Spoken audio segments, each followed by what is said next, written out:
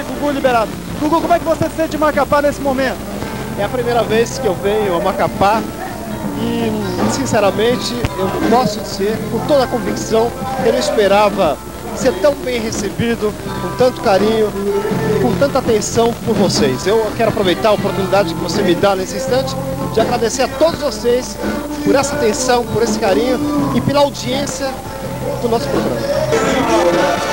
Estado Gilton Garcia, seu secretariado, e o juiz Douglas Evangelista, que fará a diplomação do governador eleito, o seu vice, como também os três senadores, os oito deputados federais, junto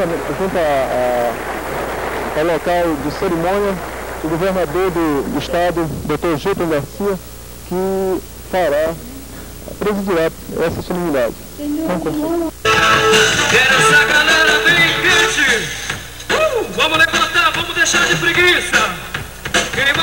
algumas calorias, o braço em cima.